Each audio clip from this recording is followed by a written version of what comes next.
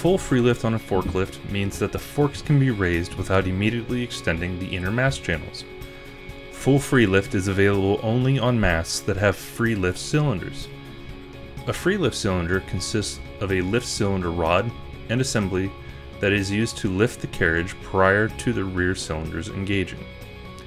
This allows the carriage and forks to be lifted to a certain point prior to the inner mast rails.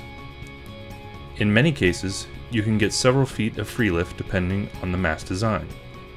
Full free lift is helpful in areas where you need to lift the load but have to be mindful of overhead obstructions.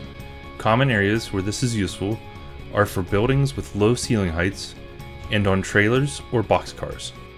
This is a free lift cylinder or primary cylinder. These are rear cylinders or secondary cylinders. When a forklift has limited free lift, it means that the inner mast rails will extend either immediately or shortly after lift is requested. Limited free lift occurs with single stage masts and two stage masts with no free lift cylinder. The amount of free lift can vary based on the condition and adjustment of the forklift's lift chains, as well as other factors such as fork thickness. Penn West Industrial Lift, lifting your industry.